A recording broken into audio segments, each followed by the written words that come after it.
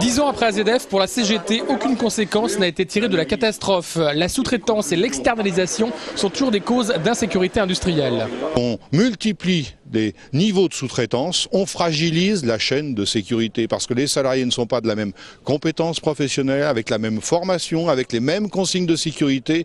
Donc on fragilise la cohésion de ceux qui travaillent au service d'une même activité. Il faut donc en tirer la conclusion et nous constatons que non seulement nous ne revenons pas en arrière, mais on continue de multiplier des exploitations à risque en multipliant les facteurs de sous-traitance avec la précarité du travail qui l'accompagne pour les salariés concernés. Au-delà de la réorganisation interne du travail, Force ouvrière, l'autre syndicat, pense que depuis 2007, les services de l'État liés au contrôle industriel sont victimes de coupes budgétaires.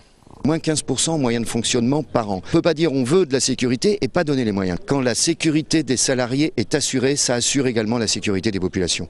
Hein, je veux dire, si on assure la sécurité des salariés sur le site, alors les populations sont assurées. Et c'est pas, faut pas les, les dissocier. Ils sont ensemble. Hein, quand il y a un pépin, ils sont tous touchés. Ok, ben je vais lire ça, je vous promets. Je vous remercie. Les représentations syndicales, par leur présence, voulaient aussi réhabiliter un monde ouvrier que la France et l'Europe ne semblent plus vouloir regarder.